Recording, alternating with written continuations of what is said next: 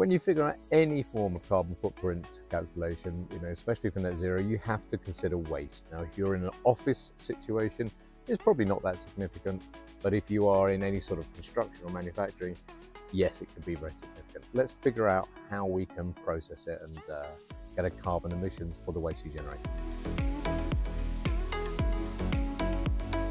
It's scorching hot here today in Oxford and it's too hot to film inside so I've come outside into my garden to film this video for you on waste and just to make it more bearable I've got a rather nice Riesling uh, to sort of help me through it. Um, if you hear the odd truck noise in the background I'm sorry nothing I can do about that but let's crack on. So waste. Now when you talk about waste in um, carbon footprint it's one of the easier sort of uh, factors to consider to work out. You know there's basically three bits of information you need. Okay, you need to know how much waste you produce. Okay, that's normally in kilograms or tons, but if you don't know the kilograms or tons, you can generally just make some estimates based on the number of bins or the number of you know wheelie bins that you sort of send out to the waste disposal people. Second, you're going to need what type of waste it is.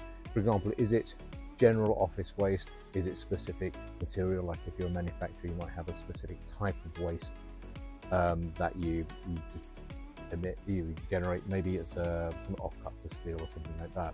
And the third thing is the end of life fate, i.e. what happens to it. And that's generally, is it recycled? Does it go to landfill? Um, or is it incinerated? You know, they're the three basic categories. So if you know those three things, what it is, how much of it, and what happens to it. There are carbon factors built into the software, be that Enistic or Yeti, whatever uh, you're kind of looking at. And you can then you just type in the amount you generate and the software will then get the right factor and apply that for the, the, waste that you are producing. So that makes it all pretty easy to work out. And it, if anything, the most complex thing is finding out the weight and what happens to the waste once it's collected, typically by a waste company. If you ask your waste company, they will generally give you a report. And when I first started doing this, it was really, really basic reports. And like, you know, we came around on Tuesday, we picked up some stuff. But these days, because of the need to process your carbon emissions, the waste companies are pretty good and they can give you a breakdown of the different weight, weight of waste they picked up and what they did with it, okay? The trick there, of course, if they're not putting it into recycling um, some form, then the, the, encouragement is to try and help them down that path so that we don't want to be sending things to incineration because the, the carbon factors, the amount of carbon emitted if you incinerate versus recycle is significantly worse. So that's the first thing I wanted to run through you with waste. There is a gotcha though, and, and the gotcha is we all don't like single-use plastics. Now, single-use plastics, if you work out the actual carbon footprint of them, you know, it's quite small.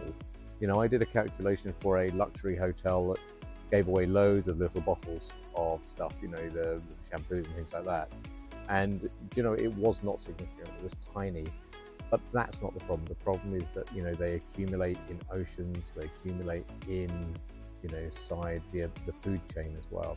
So when you talk about waste, please, you know, just do um, uh, a single-use plastic audit. If you don't know how to do that, just drop me a line. I'll send you some instructions and software, you know, such as you know, Enistic Yeti. It has got that built in, and it says, look, here's how you conduct a single-use plastic audit on your company. Okay, it is worth considering, but it's not really a carbon thing, and it stretches more into the environmental sphere of, of life rather than the carbon sphere of life. There you go. I hope that was useful. If you want more information, have a look at my book, Net Zero for Business. It makes all these things dramatically simple. You know, it's very readable and it's aimed to try and get your company to net zero, you know, in a really sort of practical step-by-step -step manner. And uh, if that was useful, I'll see you next time. Meanwhile, back to the Riesling. See ya. Bye.